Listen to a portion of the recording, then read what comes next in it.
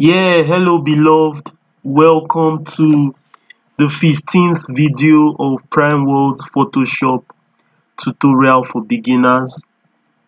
And today we are going to be learning about the pen tool and the different tools under the pen tool. Now, this pen tool and this path selection tool, they work hand in hand.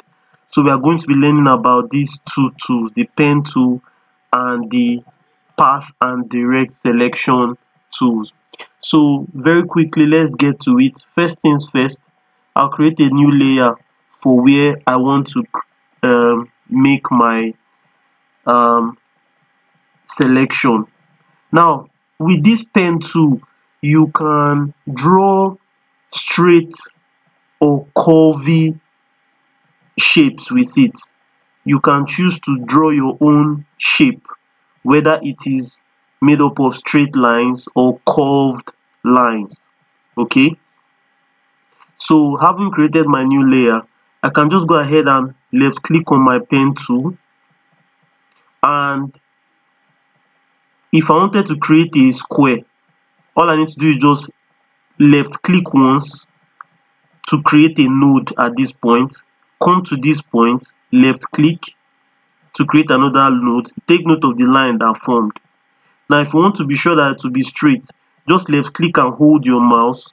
No not hold your mouse. If you left click and hold your mouse it will start creating the curved shape.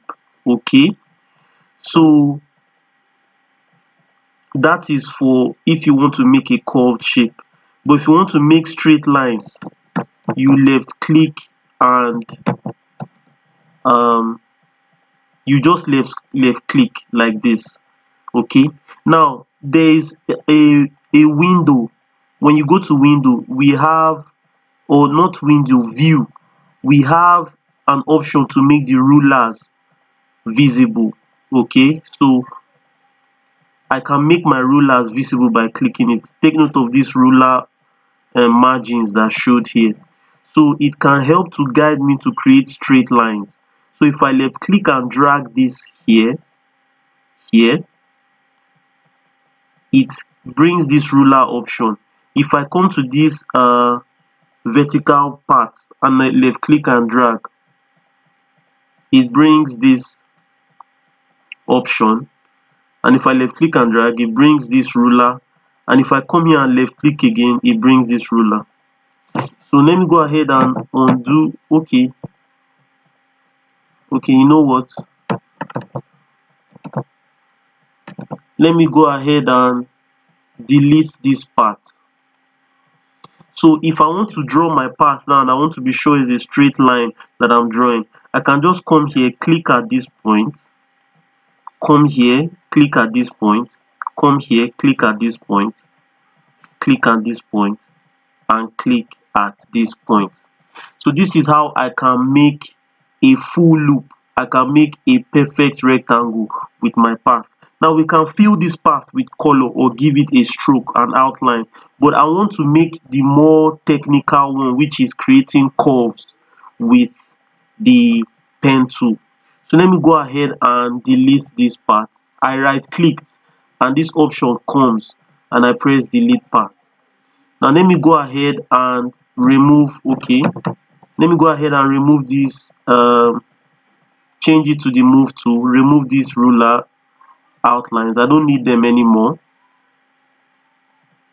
So I'm just removing them away returning them from where I brought them.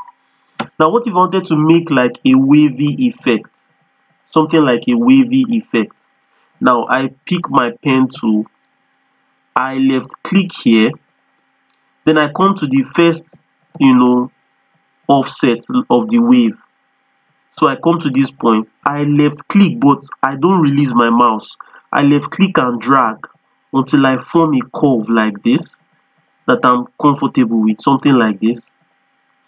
Now some people they go ahead to just come here and left click and drag. But there, there's what it does okay if you do that. I undid it it doesn't start from this point from this point exactly really if you do that. So what you need to do first if you want to start your next line from exactly this point this node that i'm pointing to we need to remove this line here.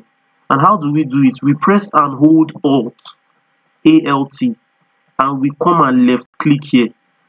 Take note as we left click here this first line removed so it therefore means that when we are clicking our next point it's going to be starting directly from that node.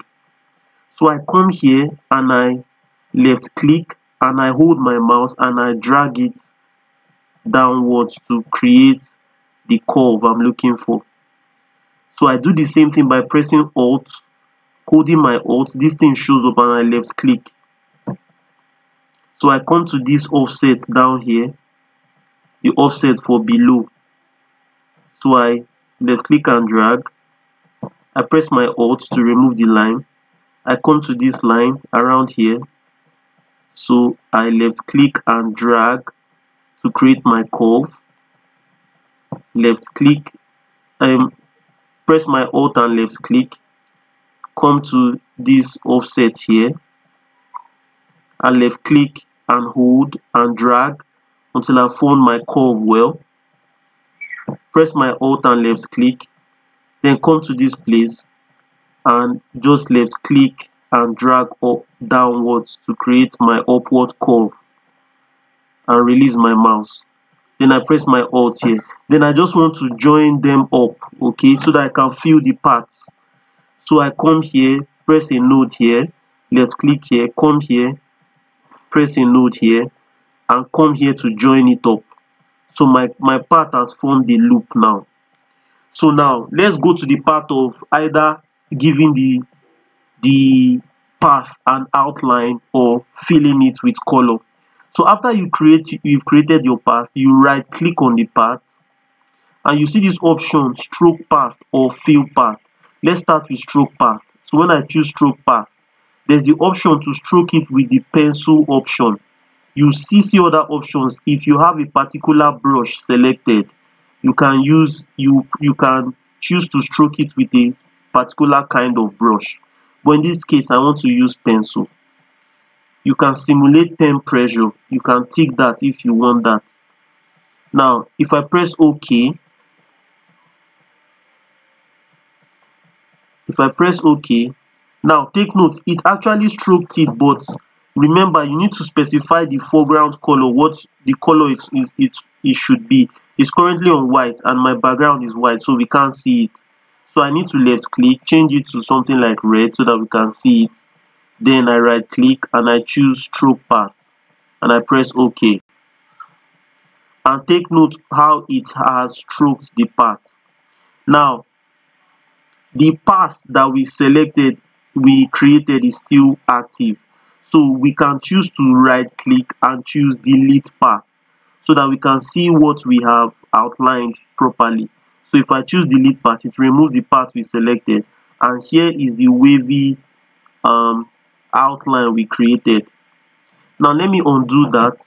Control alt z severally to remove the uh, um, outlined the stroke path.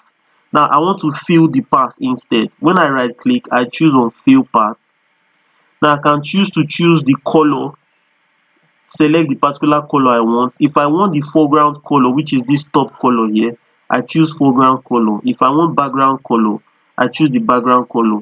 If i want to fill it with a pattern i choose pattern. So let's say i want to fill it with a specific color. So i click on color and i choose the color which i want to fill it with. So let's say i want to fill it with purple. I press ok and i come here and press ok and check out it fills it with color okay?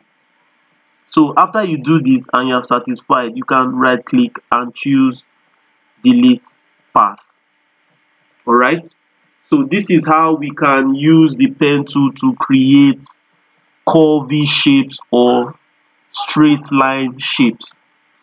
Now let me undo this okay? And go back to the part where we just select where we just created the path so that we can learn more of these other parts. Now the free the freeform pen tool what you just use it to do is if is more or less if you want to add a node and move it about okay freely. If you want to adjust the path the lines of your path okay let me undo that. Now for the add anchor point now take note all these nodes here this one this one this one this one this one this one this one. All these are called anchor points. So in case you wanted to add extra anchor points to your path you just left click on a path and it adds the node there the anchor point. You can now choose to click that anchor point and move it around if you want to any position you want okay? So this is for add anchor point so let me undo that. Now there is delete anchor point. What if i wanted to delete this node here? If i just left click on the node you can see that that node there is gone. Okay so that's what delete anchor point does for you. I've just undid that. Okay. And these are the main things okay we need to learn concerning um, this part. Now the convert point tool is more or less if you want to convert your curve to a straight line.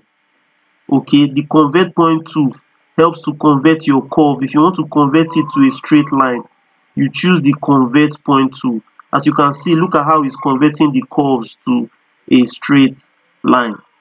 Let me go ahead and control alt undo all of that. So that's what the convert point tool is used for now i said that the path selection and direct selection they work hand in hand with your pen tool okay? So for your path selection if you want to move your path what you created around take note we are moving it around without adjusting any of the paths. You use the the uh, path selection tool this one okay? You use it. So you can see that we are moving it around. Let me put it back where it was now finally if you want to move if you want to adjust a particular node you choose the direct selection tool. So you come here and left click. When you left click on a node this line shows up. Okay? So you can now drag this line to adjust the curve the line okay that that node is attached to. As you can see i can come here adjust the lines you can see how it's adjusting the line.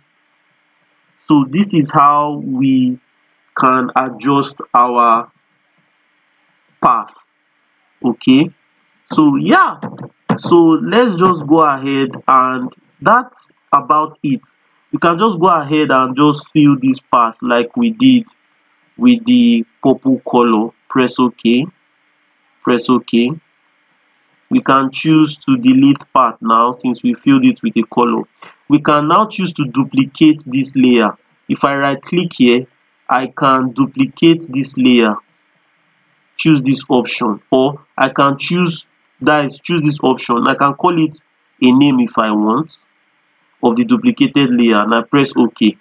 And this layer is duplicated.